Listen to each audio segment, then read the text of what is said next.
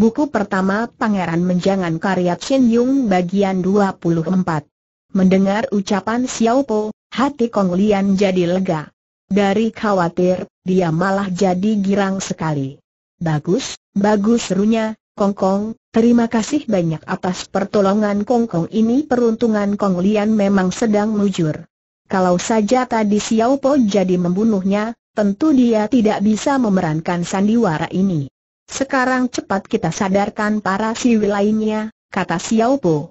Mereka harus dijelaskan dulu urusan ini, supaya mereka serempak mengaku bahwa telah dibius oleh keempat taikam ini ya. Ya, sahut Kong Lian, dia segera mencari air dingin, biar bagaimana, hatinya masih kurang tenang karena belum tahu bagaimana reaksi Sri Baginda. Dalam waktu yang singkat, para siwi itu sudah siuman kembali. Kepada mereka dijelaskan bahwa semua orang telah dibuat tidak sadar dengan Bong Hoan Yok oleh Teng Kim Hwe berempat, kemudian Teng Kim Hwe membinasakan ketiga orang rekannya dan lalu dia kabur bersama para tahanan. Hah! Kurang ajar benar orang itu caci para siwi itu walaupun dalam hati mereka terdapat keraguan mengapa Tai Hou harus membebaskan ketiga tawanan itu? Mungkinkah mereka justru orang-orang suruhan Tai Hou pikir mereka dalam hati. Tapi karena urusan ini menyangkut diri Ibu Suri, meskipun curiga, mereka memilih menutup mulu rapat-rapat. Xiao Po sendiri langsung kembali ke kamarnya. Begitu masuk, dia segera disambut oleh Kiam Peng. Kuito aku, apa kabarnya tanya nona cilik itu.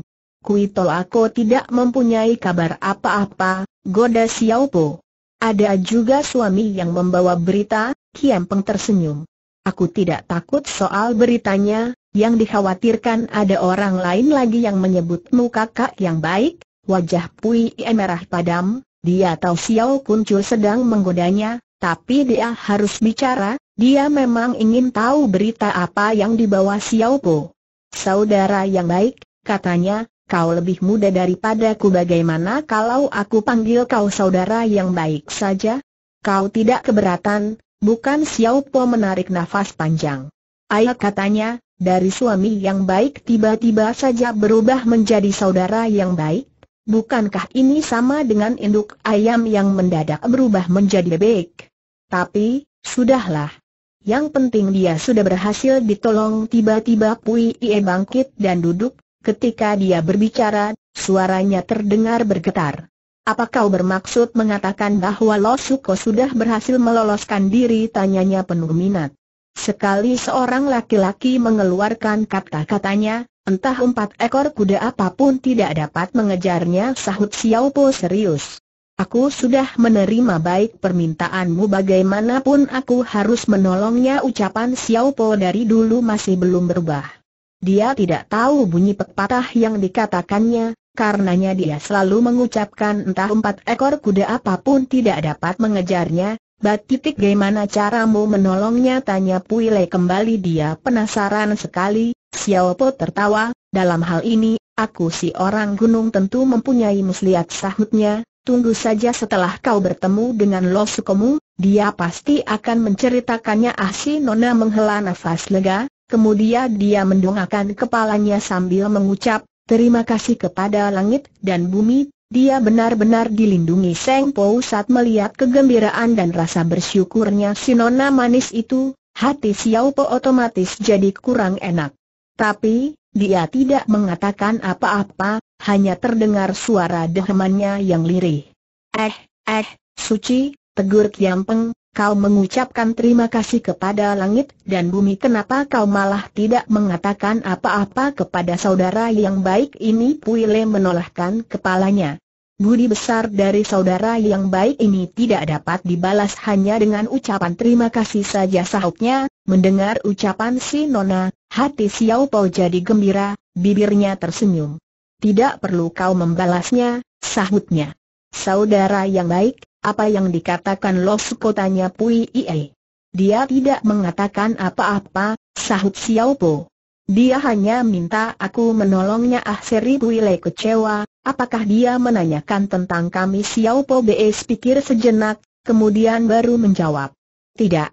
aku yang mengatakan bahwa kau berada di tempat yang aman, karena itu dia tidak perlu mengkhawatirkanmu, dan tidak lama lagi aku akan mengantarkanmu agar dapat bertemu dengannya Pui Le menganggukkan kepalanya. Perbuatanmu benar, sahutnya. Tapi tiba-tiba saja air matanya, mengalir dengan deras. Eh, Suci seru Kiampeng terkejut ada apa? Mengapa kau menangis sa? Ku gembira sekali sahut Nona yang sedang menangis itu. Sementara itu, Xiao Po berpikir dalam hati, Sri Baginda menitahkan aku menguntit ketiga tawanan itu, agar dapat mencari tahu siapa pemimpinnya, karena itu, aku harus keluar melewatkan waktu supaya tidak dicurigai setelah satu dua jam, aku baru kembali lagi memberikan laporan, dengan membawa pikiran demikian, Xiao Po segera berpesan kepada kedua nona itu agar berdiam di dalam kamarnya seperti biasa, dia segera menuju ke Tian Hio, hari itu, bagian kiri jalan terdapat banyak pedagang keyontong. Malah ada juga yang membuka panggung pertunjukan Tian Ki memang terkenal sebagai tempat berkumpulnya berbagai kalangan terutama orang-orang dunia Kangou, ke sanalah tujuan cilik kita. Ketika mendekat, Perhatian Xiao Po tiba-tiba jadi tertarik, dia melihat kurang lebih 20 orang polisi sedang menggiring lima pedagang kecil yang pakaiannya compang-camping. Dia berdiri sisi jalan dan memperhatikan rombongan itu. Benar-benar keterlaluan gerutu seorang tua sekarang ini berjualan saja sulit Xiao Po baru saja berniat menanyakan sesuatu kepada orang tua itu, Tiba-tiba terdengar suara batuk-batuk di dekatnya ketika dia menoleh kepalanya, dia melihat seseorang yang rambutnya sudah penuh uban dan tubuhnya bungkuk. Setelah diperhatikan dengan seksama, dia mengenali orang itu sebagai Pet Piwan Kau Cirian Choan, orang ini melirik ke arahnya kemudian mengedipkan matanya dan berjalan melaluinya. Xiao Po mengerti isyarat yang ditunjukkan orang tua itu, dia berjalan perlahan mengikuti sehingga sampai di tempat yang sepi. Wih Chu, sapanya, ada kabar gembira Xiao Po tersenyum diam-diam dia berpikir.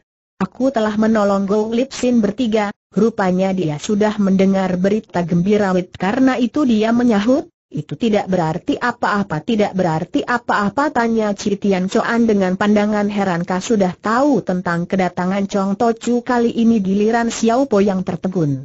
Guruku datang tanyanya seakan tidak percaya dengan pendengarannya sendiri. Hal ini memang di luar dugaannya. Benar Safiu Citian Choan.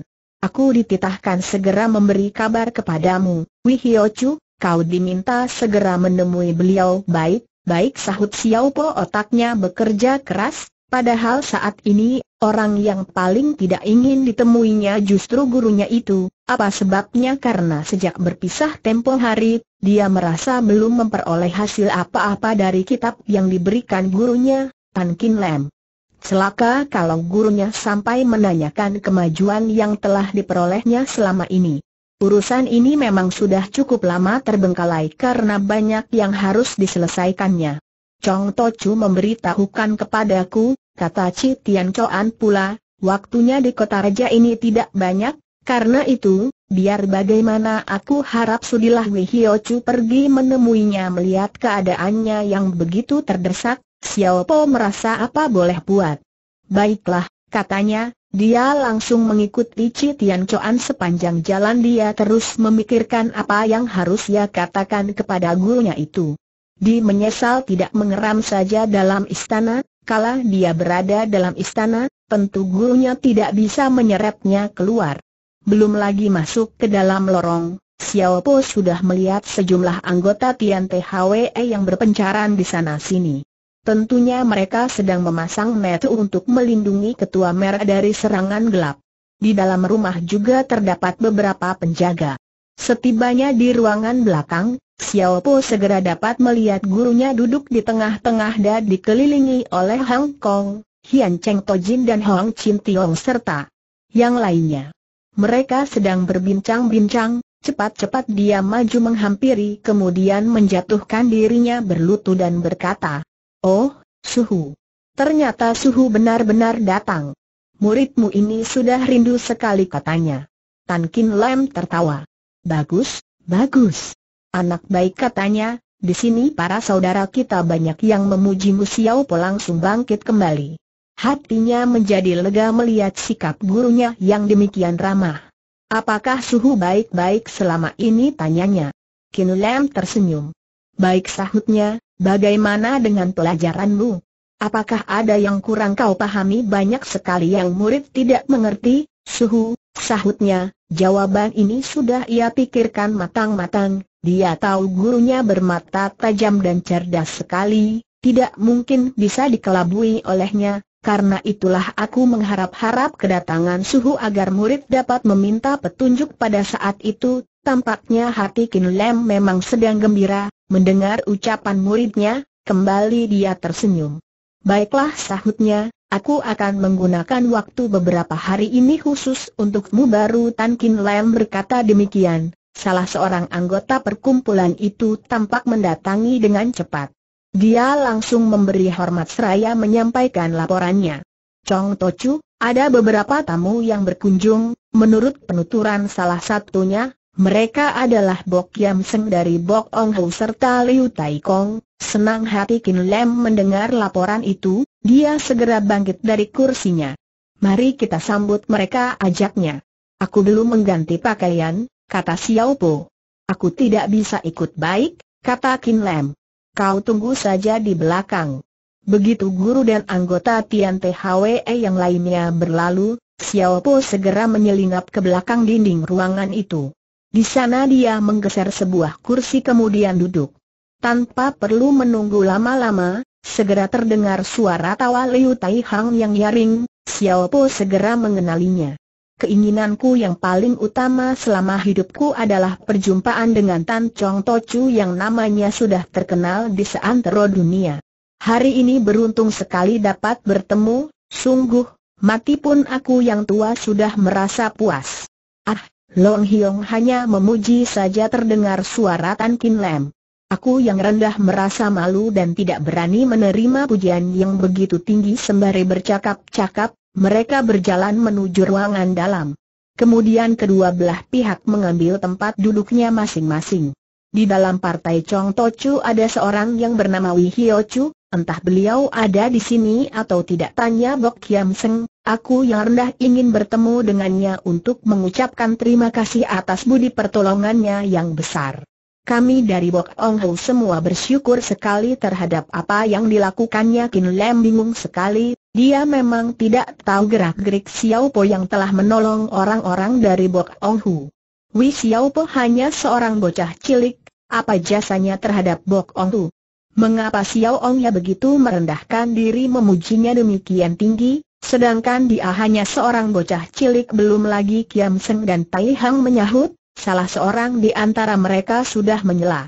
Aku yang rendah bersama murid dan keponakan muridku Lo It Chou telah ditolong oleh Wi Hio Chu, budinya yang luar biasa besarnya ibarat mega di langit, aku juga pernah menyatakan pada Kian Suhau, apabila perkumpulan Chuan-Chuan memerlukan bantuan, kami siap menjalankan tugas apa saja yang diperintahkan, orang yang berbicara bukan lain dari Yau Tosai Chu, Go Hitsin yang jujur dan selalu bicara apa adanya. Chong Tochu dari Tian THWE tetap tidak mengerti karena itu dia segera menoleh kepada Cian Laopan dan bertanya. Saudara Cian, bagaimana duduk persoalan yang sebenarnya orang si Cian segera menceritakan apa saja yang terjadi di kota raja akhir-akhir ini sekeluarnya dari istana, dia langsung mengajak Go Lip Sin dan rekan-rekannya kembali ke tempat Bok Kiam Seng, di mana di tempat itu juga diadi jamu. Pihak Bok Ong Hu telah menyatakan perasaan terima kasihnya terutama terhadap Wei Hio Chu, setelah itu Liu Tai Hang dan yang lain meminta dia jadi pengantar ke tempat perkumpulan Tian THWE. Di luar dugaan, justru pada saat itu pula Tan Kin Lam, ketua pusat perkumpulan itu datang berkunjung, karena itu Bok Kiam Seng dan Liu Tai Hong segera memohon bertemu dengan ketua umum itu. Dijelaskan bahwa Go Sin bertiga ditolong oleh seorang Tai Kam cilik yang mengaku sebagai sahabatnya Wei Hio Chu dari perkumpulan tersebut dan si Tai Kam melakukan hal itu karena permintaan dari Wei Hio Chu tersebut. Baru sekarang Tan Kin ia mengerti duduk persoalannya dan dia menjadi senang sekali, tentu saja Tai Kam yang dimaksudkan adalah muridnya sendiri dan hal ini tidak diketahui oleh pihak Bok Ong Hu. Bok Xiao Ong Ya, Liu Loyacu dan Gong Toako, kalian bertiga terlalu sungkan, katanya sambil tertawa. Pihak Bok Ong Hu dengan perkumpulan THWE kami ibarat tangan dan kaki dari sesosok tubuh, karenanya, kalau orang sendiri memerlukan bantuan, sudah seharusnya kami mengulurkan tangan, Janganlah Xiao Ong Yar menyebut-nyebut tentang budi pertolongan Hio Cui Xiao Po adalah muridku yang rendah, dia masih sangat muda dan belum mengerti apa-apa, tidak pantas menerima penghargaan Xiao Ong Ya yang demikian tinggi, berkata sampai di sini. Tan Kin Lam berpikir Xiao Po bekerja dalam istana untuk mencari tahu tentang rahasia pemerintah sekarang ia telah melakukan pekerjaan ini, pasti rahasianya akan diketahui oleh orang-orang dunia Kangou, karena itu, kalau hal ini dirahasiakan pula kepada pihak Bok Ong Hu, tentu kelak akan timbul kesan yang buruk, ketika Chuan Rumah masih berpikir, Go Lip Sin berkata, kami ingin sekali bertemu dengan Wei Hio Chu agar kami dapat mengucapkan terima kasih secara langsung. Kin Lam tertawa.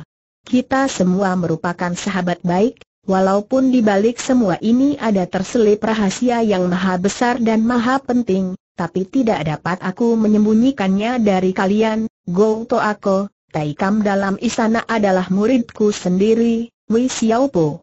Xiaopo, lekas kau temui para ciampu ini tentu saja kata-katanya yang terakhir ditujukan kepada Seng murid. Lya, sahut Xiaopo yang mendekam di balik dinding, dia segera muncul kembali memberi hormat kepada Bok Kiam Seng beserta rombongannya. Kiam Seng, Liu Tai Hang dan Go Lip Si langsung bangkit mereka merasa heran sekali ketika membalas hormat. Mereka menatap Xiao Po lekat-lekat. Hal ini benar-benar di luar dugaan mereka, Hio Chu dari Tian THWM menyelundup ke dalam istana kerajaan Cheng dan bekerja sebagai Tai Kam. Malah usianya masih begitu muda, bagaimana seorang bocah yang masih begitu kecil dapat menjalankan tugas yang demikian hebat dan dapat pula yang menolong jiwa Go Lip Sin bertiga. Xiao Po tertawa manis ketika berhadapan dengan Go Lip Sin.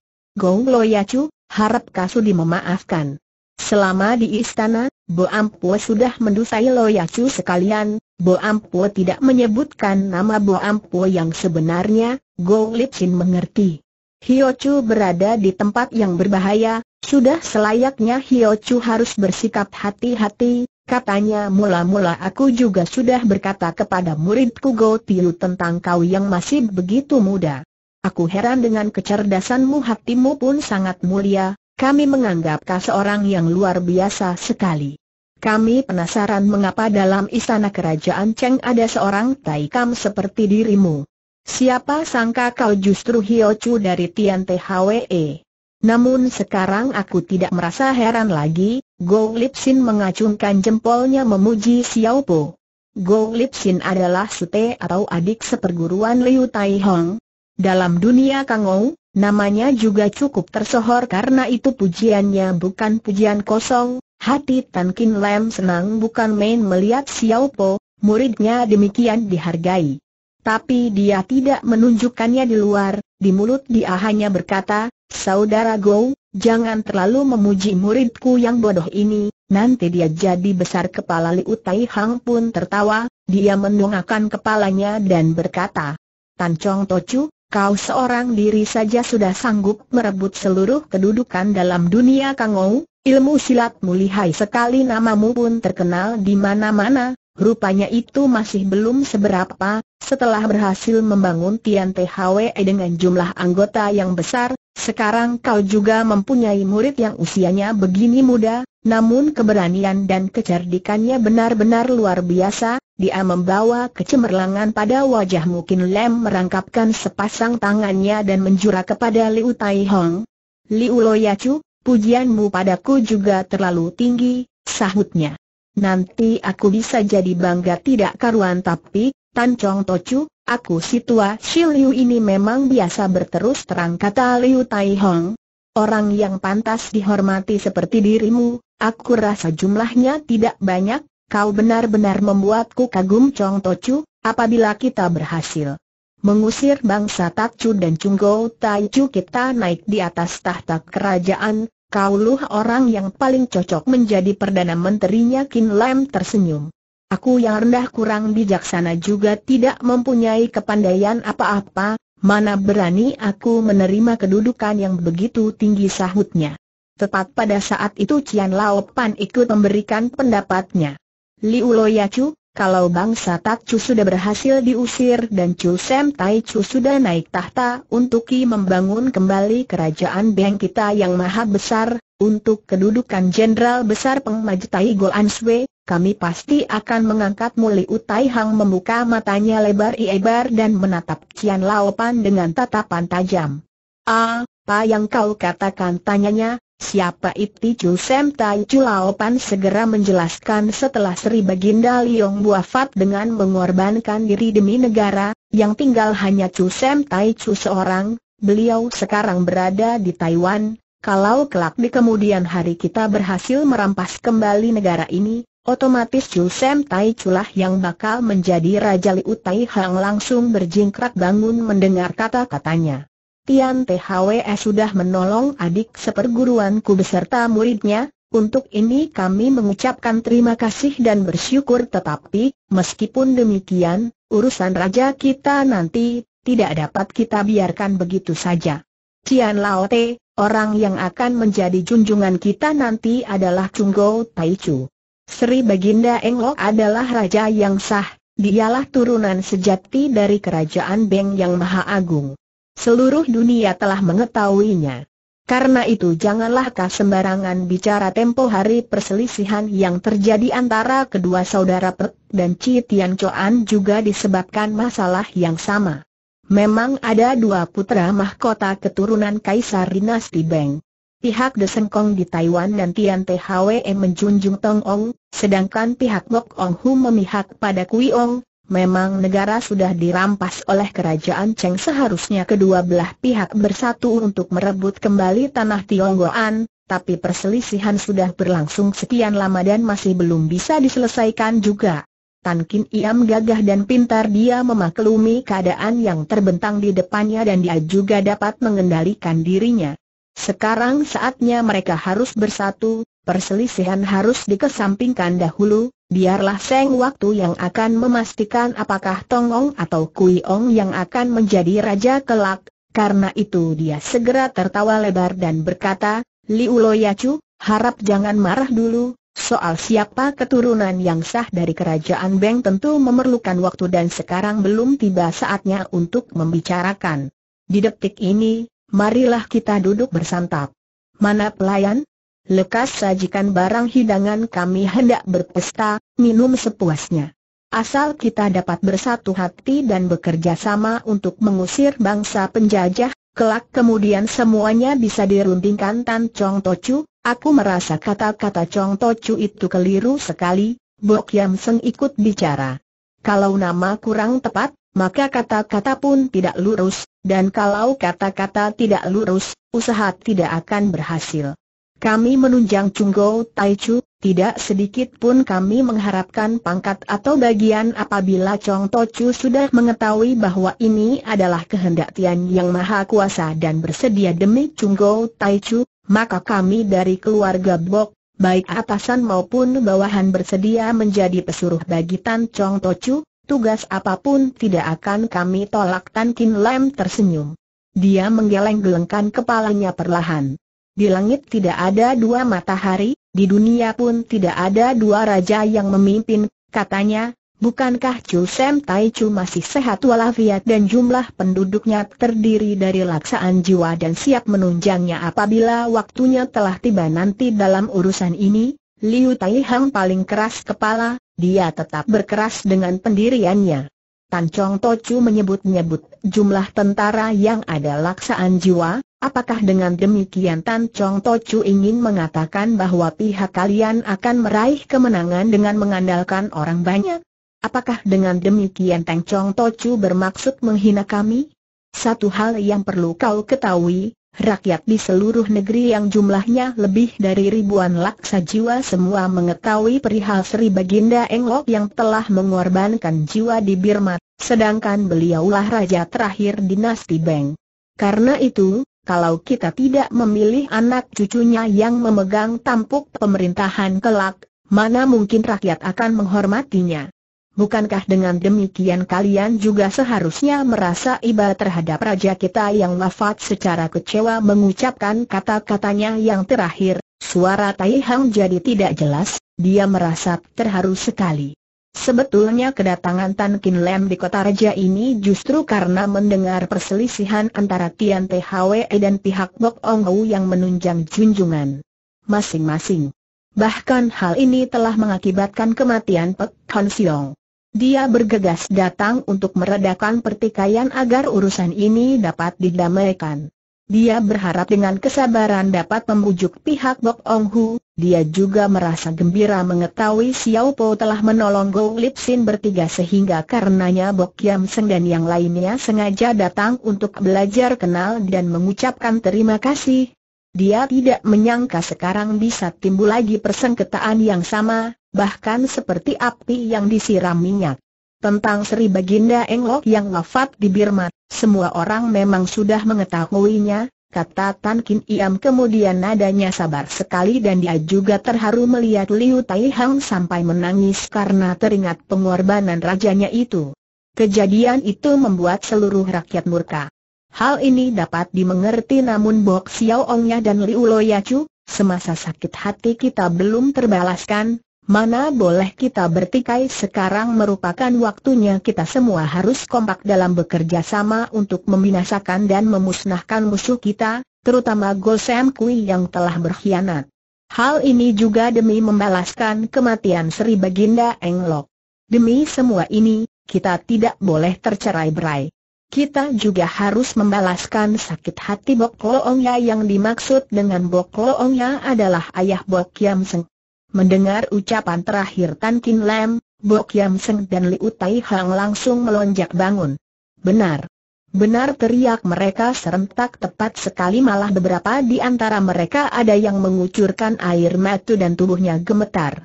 Lebih baik sekarang kita jangan masalahkan siapa yang akan menjadi raja kelak, kata Tan Kin Lam kembali, Bok Ong Ya, Liu Loyacu dan seluruh rakyat di negeri ini, tidak ada satupun yang tidak merasa benci kepada Go Sam Kui. Baiklah kita mengambil keputusan, siapa saja yang berhasil membunuh Go Sam Kui, maka pihaknya lah yang akan kita angkat menjadi raja benar sambut Bok Kiam Seng, dialah yang paling keras keinginannya untuk membunuh Go Sam Kui musuh besar pembunuh ayahnya, benar, siapa yang dapat membinasakan Go Sam Kui, dialah yang kita junjung Bok Ong Ya, kata Tan Kin Lam, kali ini khusus ditujukan kepada pangeran muda dari Inlam itu. Sekarang marilah kita buat perjanjian janji antara perkumpulan Tian THWE kami dengan pihak Bok Ong Hu kalian, kalau pihak Bok Ong Hu yang berhasil membunuh Go Sam Kui, maka seluruh anggota Tian THWE bersedia menerima segala titah Bok Ong Hu. Kalau pihak Tian THWE yang berhasil membunuh Go Sam Kui, Sahut Bok Kiam Seng cepat maka seluruh anggota keluarga Bong Ong Ha, mulai dari Bok Kiam Seng semua akan tunduk kepada perintahnya Tan Chong Tochu dari Tian THWS sebagai penutup dari janji itu. Kedua pihak mengulurkan tangannya dan saling tepuk sebanyak tiga kali, tapi baru saja mereka saling menepuk satu kali, Tiba-tiba terdengar suara tawa nyaring dari hubungan rumah yang tinggi kemudian disusul dengan seseorang yang berkata, Bagaimana kalau aku yang berhasil membunuh Go Sam Kui mendengar suara tawa dan pertanyaan itu, beberapa orang langsung menegur. Siapa itu yang menegur adalah beberapa macam batu, Tian THWE yang bersembunyi di atas genteng. Setelah itu terdengar pula suara nyaring lainnya disusul dengan melompat turunnya sesosok bayangan yang terus berkelebat dan masuk lewat jendela tanpa menimbulkan suara sedikit pun, Hal ini membuktikan bahwa orang yang datang menguasai ginkang, ilmu meringankan tubuh, yang cukup tinggi. Hang Chi Tiong dan Chi Tian Choan berada di sebelah timur, sedangkan Liu Tai Hang dan Go Lip Sin berada di sebelah barat, serempak mereka menghambur menyerang ke arah sosok bayangan tadi. Tetapi rupanya orang itu gesit sekali, dia melompat tinggi dan mencelat melewati keempat orang yang sedang menyerang ke arahnya dan tahu-tahu dia sudah sampai di hadapan Tan Kin Lam dan Bok Xiao Ong Jia. Keempat penyerangnya terdiri dari jago-jago kelas satu di dunia Kangou pada saat itu, tetapi mereka tidak sanggup berbuat apa-apa. Hal ini membuktikan betapa hebatnya tamu yang tidak diundang itu, dalam waktu yang lain, mereka segera membalikan tubuh dan menyerang kembali Citiong mencekal bahu kanan orang itu, Tian Choan mencekal iga kanan, Liu Tai Hang mencekal bahu kiri dan Lip Sin memeluk pinggang orang itu dengan kedua tangannya. Diperlakukan sedemikian rupa, orang itu tidak mengadakan perlawanan sama sekali, sembari tertawa dia bertanya, Beginikah caranya sahabat-sahabat Tian THWM memperlakukan tamunya sekarang ini semua orang dapat melihat tegas tampang tamu yang tenang dan periang itu. Dia adalah seorang pemuda berusia kurang lebih 23 atau 4 tahun, dia memakai jubah hijau yang panjang, tubuhnya tinggi kurus, romennya seperti seorang sastrawan. Tan Kin Lam segera merangkapkan sepasang tangannya untuk menjura. Ciok Hai, panggilan seperti Tuan, tapi dengan maksud merendahkan diri, siapakah si dan namamu yang mulia tanyanya, apakah kau sahabat dari pihak kami sastrawan itu tertawa. Kalau bukan sahabat, tentu aku tidak akan datang kemari ucapan itu disusul dengan tubuhnya yang menciut seperti segumpal daging sehingga cekalan keempat penyerangnya jadi terlepas. Hang Chi Tiong benar-benar keheranan dibuatnya, setelah itu, Tamu yang tidak diundang tersebut tertawa lagi, tapi saat ini tubuhnya mencelat lagi ke atas dan berubah menjadi bayangan yang berkelebat seperti sebelumnya. Sekarang Tan Kin Lam sendiri yang turun tangan sembari tertawa panjang, Ketua Pusat Tian THWE bergerak bangun sekaligus meluncurkan tangan kanannya, apabila tamu tak diundang itu berhasil melepaskan diri dari serangan Chi Tiong, maka kali ini dia tidak dapat mengelakkan cekalan Tan Kin Lam pada kakinya. Dia merasa kakinya tercengkeram kuat seperti dililit oleh rantai besi. Tapi dia tidak takut, dia malah tertawa panjang sambil mengirimkan sebuah tendangan ke arah orang yang mencekal kakinya itu. Hebat sekali tendangan itu, arahnya pun ke muka orang. Tapi Tan Kin Lam bisa menyelamatkan dirinya, Tangan kirinya dengan gerakan cepat menyambar sebuah meja kecil yang kemudian digunakan untuk menangkis, berak. Rusakiah meja kecil itu yang mana kemudian menjadi potongan-potongan kecil.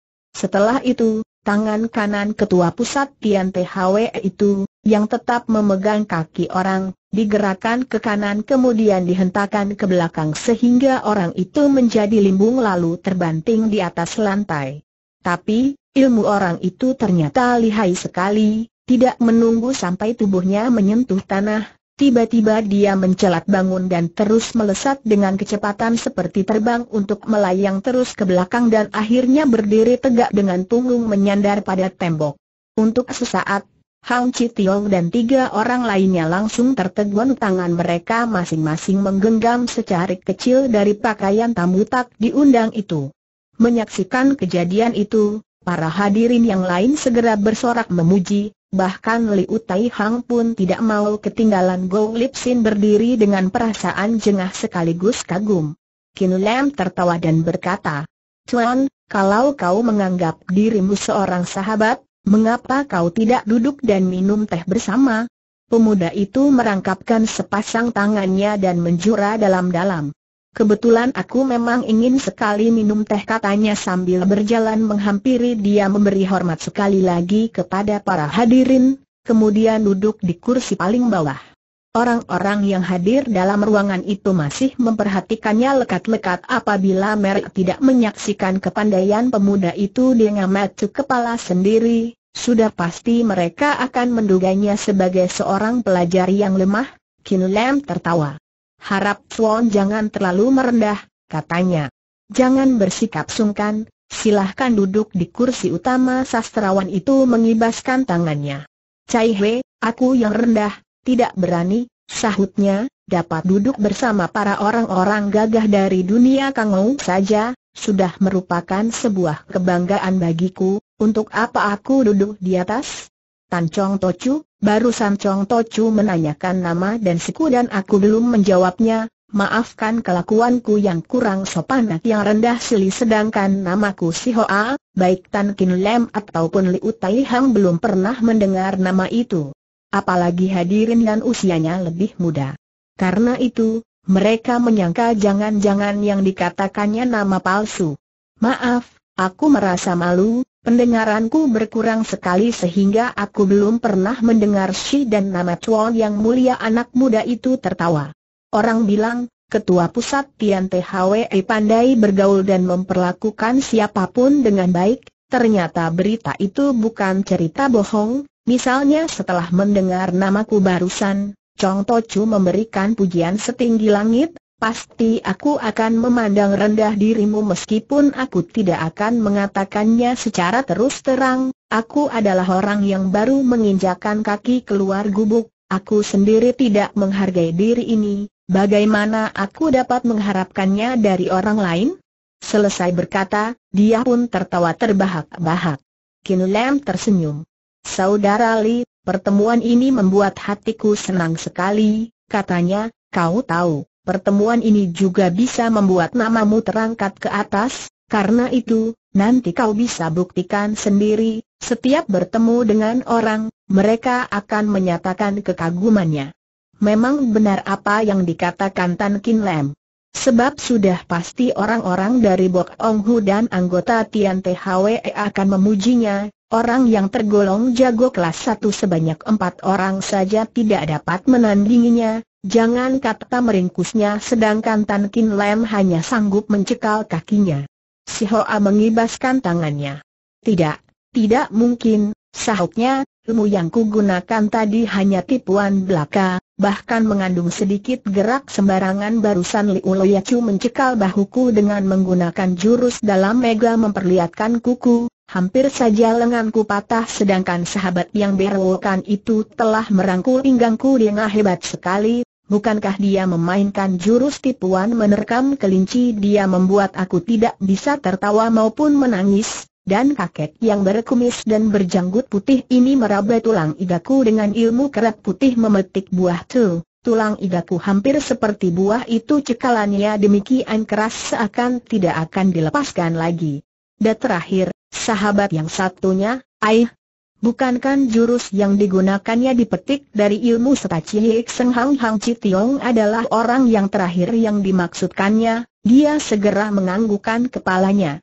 Dia tidak membantah, meskipun sebenarnya ilmu yang digunakannya bernama Seran Cilik menarik malaikat kota saudara Li, Ilmu silatmu hebat sekali Puj Liu Tai hal ini karena orang itu dapat meloloskan diri walaupun diserang sedemikian rupa matamu juga sangat tajam. Liu Loyacu berlebihan memujiku kata si Ho sembari menggoyangkan tangannya berkali-kali. Serangan yang dilancarkan Loyacu berempat tadi sebenarnya bisa mencabut nyawa orang, tetapi kalian tidak bersungguh-sungguh sehingga aku yang rendah tidak terluka sama sekali, Terima kasih atas rasa kasihan Ciampu berempat Hang Tiong senang mendengar kata-kata orang itu, memang serangan yang dilancarkan mereka berempat tadi lihai sekali.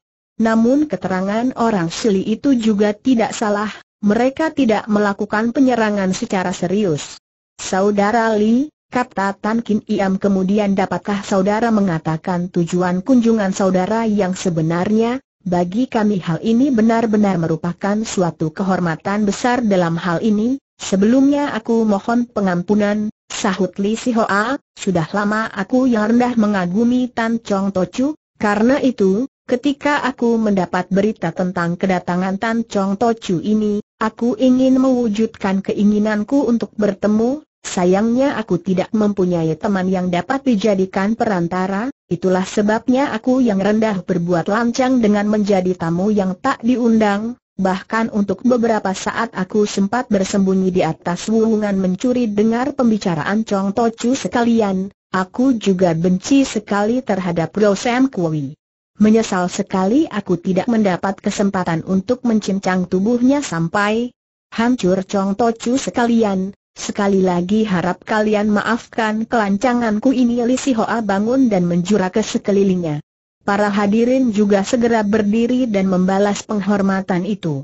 Tuan, kata Bok Kiam Seng, karena Tuan juga sangat membenci Go Sam Kui, berarti kita bertujuan sama. Kita adalah orang-orang sego satu ongan. Sudah selayaknya apa baiklah kita bekerja sama dalam hal ini, entah Tuan mempunyai niat seperti ini atau tidak tentu saja ada sahut si Hoa cepat tadi ketika Tan Chong Tochu sedang membuat perjanjian dengan Xiao Ongnya, aku telah mengganggu. Dan aku merasa menyesal sekali, bagaimana kalau perjanjian yang tertunda itu dilanjutkan kembali, setelah itu kita rundingkan kembali perjanjian dengan Kuliu Taihang memperhatikan orang itu lekat-lekat. Apakah Tuan bermaksud mengatakan, apabila Tuan yang berhasil membunuh Go Sam Kui, maka kami orang-orang dari Bok Ong Hu dan Tian Hwe harus menurut perintahmu tanyanya, bukan. Aku tidak sanggup menerima hal itu, sahut si Hoa. Aku masih muda, sudah cukup bagiku apabila dapat mengikuti kalian seterusnya Tai Hang menganggukkan kepalanya, tapi dia masih ingin mendapatkan kepastian.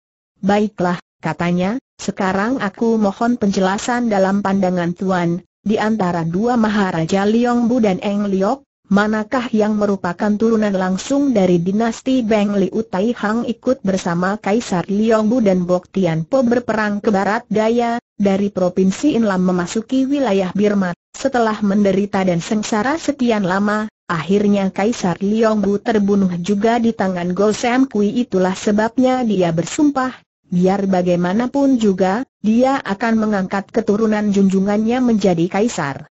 Tan Kin Lam insyaf akan masalah yang pelik ini. Dia ingin menghindarkan perselisihan yang terjadi, tetapi jago tua Shiliu itu tetap kukuh pada cita-citanya sehingga mengajukan pertanyaan itu kepada Li Hoa. Mendengar pertanyaan orang tua itu, Li Hoa segera berkata, aku yang rendah mungkin mengucapkan kata yang tidak enak didengar, tapi, meskipun demikian, aku minta cuan-cuan untuk memakluminya Tai Hang tetap tidak sabaran, wajahnya langsung menjadi merah, apakah cuan ini bekas bawahannya Long tanyanya. Setelah wafatnya Kaisar Chong Cheng dari dinasti Beng, di berbagai tempat bangkit pangeran-pangeran yang ingin mengangkat diri masing-masing menjadi raja, mereka adalah Loong, Kuyong, dan Tongong. Begitu kata-katanya terucapkan, Liu Tai Hang segera menyadari kekeliruannya, Li Hoa masih terlalu muda, tidak mungkin dia itu bekas bawahannya Loong. Karena itu, sebelum si anak muda menjawab, dia segera membetulkan pertanyaannya tadi.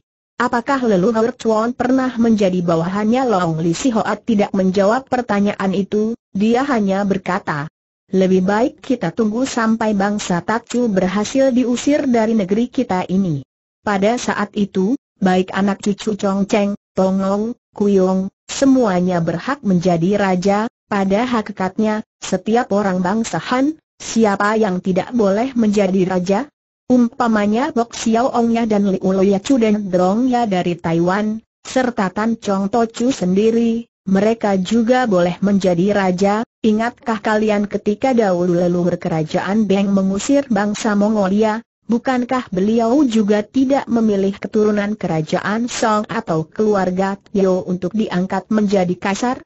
Bukankah Sri Baginda Beng Tai Chou Chu Guan yang mengangkat dirinya sendiri menjadi raja? dan rata-rata rakyat menyambutnya dengan gembira ucapan seperti ini belum pernah didengar oleh para hadirin. Semua orang menjadi heran serta terkejut. Meskipun demikian, tidak ada orang yang berani membuka mulut menentangnya, karena kata-kata itu mempunyai dasar yang kuat. Hanya Liu Tai Hang seorang yang masih kukuh dengan pendiriannya, dia menggebrak meja dan berkata dengan keras.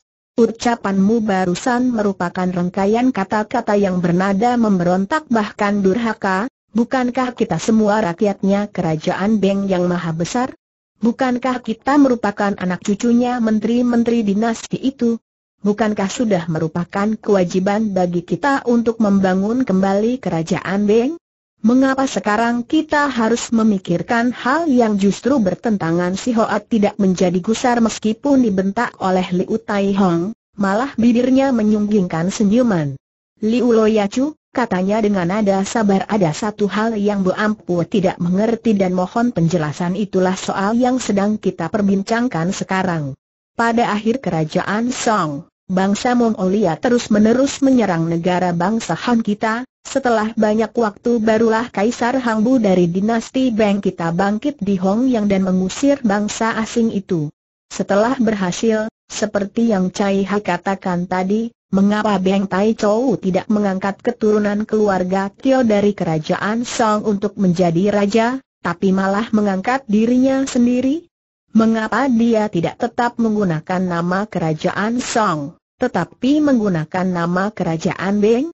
Hektometer seru Liu Tai Hong. Ketika itu keturunan keluarga Tio sudah habis, Karenanya Beng Tai Chow yang telah bersusah payah lalu mengangkat dirinya sendiri.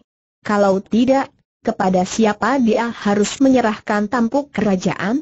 Tatkala itu, tidak ada satupun keturunan keluarga Tio yang berjasa mengusir bangsa Mongolia, taruh kata Beng Tai Chow sendiri bersedia mengalah dan mundur teratur, belum tentu rakyat dan tentara yang ikut berjuang mau mengerti nah, ini merupakan suatu persoalan pula, kata Li Si Hoa yang tetap tenang, kelak di kemudian hari, masih belum diketahui apakah keturunan keluarga Chu yang berjasa atau tidak, seandainya dia berjasa, sudah tentu rakyat akan mendukungnya.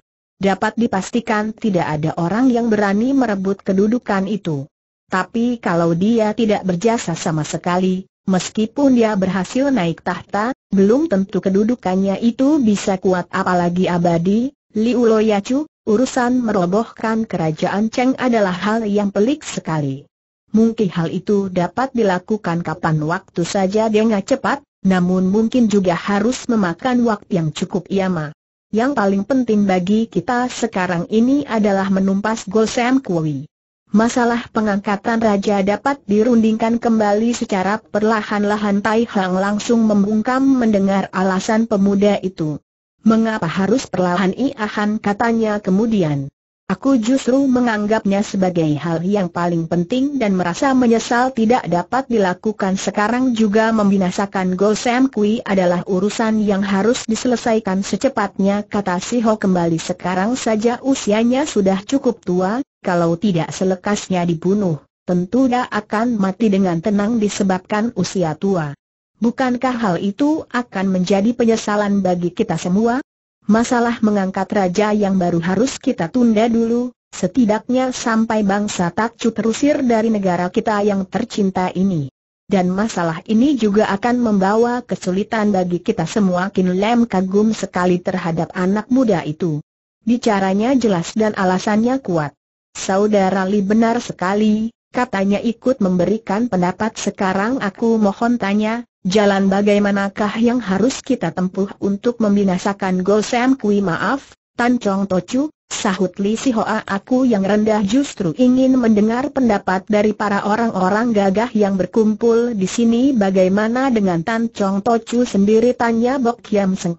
Apakah Tan Chong Tochu sudah mempunyai akal yang baik pengkhianat Go Sam Kui itu terlalu jahat dan banyak antek-anteknya, Terlalu enak kalau hanya dia seorang yang dihukum mati, kata Tan Kin Lam.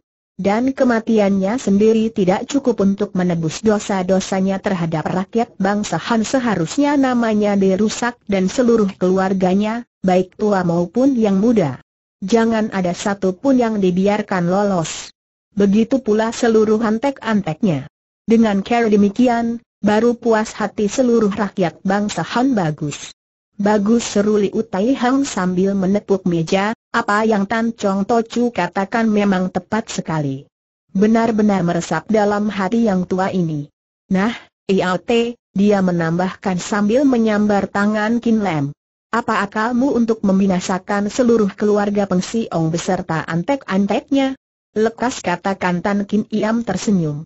Sebaiknya kita pikirkan caranya bersama-sama katanya, kalau hanya aku seorang diri, mana mungkin menemukan akal yang sempurna Asru Tai Hang tertahan dia melepaskan cekalan tangannya, tampaknya dia agak kecewa mendengar jawaban Tan Kin Yam. Kin Lem mengulurkan tangannya ke arah Bok Yam Seng. Xiao Ongnya, kita masih harus bertepuk tangan dua kali lagi katanya mengingatkan. Benar sahut pangeran dari Inlam itu. Dia juga mengulurkan tangannya dan mereka pun melanjutkan dua kali tepukan tangan yang tertunda tadi. Si Hoa bangkit dengan sikap menghormatkan Chong Tocu ingin membasmi Gao Sampui, aku si orang Sili bersedia menerima segala titahmu, Tan Chong Tocu, seandainya aku yang rendah beruntung bisa membunuh pengkhianat itu, tidak ada hal lain yang kuharapkan kecuali dapat mengangkat saudara denganmu dan diizinkan saling memanggil dengan kakak dan adikin Lem tertawa. Li Hiante kau terlalu memandang tinggi kepadaku katanya yang langsung memanggil Hiante atau tidak, baiklah, Ucapan seorang laki-laki sejati sekali dikeluarkan, empat ekor kuda pun sukar mengejarnya. Xiao Po menyaksikan gerak-gerik kedua orang itu, hatinya tertarik sekali semangatnya seperti terbangun. Dia menyesalkan dirinya yang masih terlalu kecil, coba kalau usianya sedikit lebih tua dan ilmu silatnya setinggi Li Hoa, tentu dia akan membawa sikap yang sama gagahnya. Sementara itu, Kin Lem menitahkan agar barang hidangan lekas disajikan. Dia ingin menjamu para tamunya, ketika pesta sedang berlangsung, Li Si Hoa selalu berbicara dengan nada gembira, ternyata pengetahuannya luas sekali tetapi sejauh itu, dia masih tidak menjelaskan asal-usulnya. Di situ juga Hoan Kong dan Hian Cheng memperkenalkan orang-orang lainnya, ketika berhadapan dengan Xiao Po yang dikatakan merupakan salah seorang Hiochu dari Tian.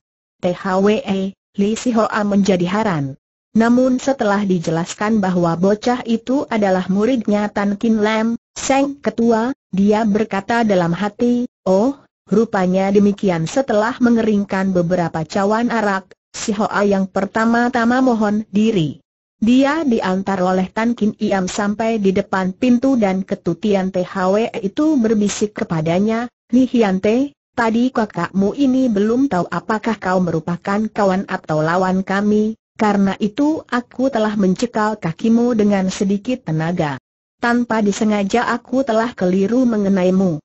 Hiante, dua jam lagi kakimu akan terasa nyeri berbahaya sekali kalau kau tidak tahu Caromi obati lukamu itu, atau kau gunakan Caroline dengan terpaksa. Hiante, kau harus menggali sebuah lubang yang dalam dan tingginya sesuai dengan betuk tubuhmu, kemudian kau masuk ke dalam lalu kau uruk kembali dengan tanah sampai sebatas leher.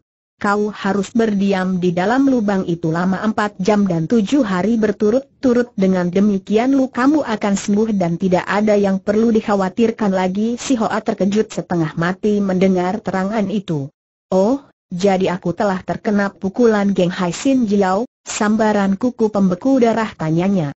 Jangan cemas, tidak perlu takut, Hiante, kata Tan Kin Lam. Kalau kau ikuti carry yang kukatakan tadi, niscaya kau tidak akan mengalami kejadian apa-apa, sekali lagi kakakmu mohon agar kau tidak berkecil hati karena kesembronoanku tadi pertama-tama Li Hoa memang terkejut tapi akhirnya dia menjadi tenang kembali. Salahku sendiri, sahutnya kemudian. Hari ini mataku baru terbuka, di atas langit masih ada langit, di antara para jago masih ada lagi yang lebih jago sekali lagi dia merangkapkan sepasang tangannya menjura kemudian dia membalikan tubuhnya berlalu dari tempat itu. Liu Tai Hang yang mendengar perkataan Tan Kin Lem barusan, segera bertanya. Tan Chong Tochu, jadi tadi kau menggunakan ilmu Cheng Hiat Sin Jiao untuk menghadapi pemuda itu?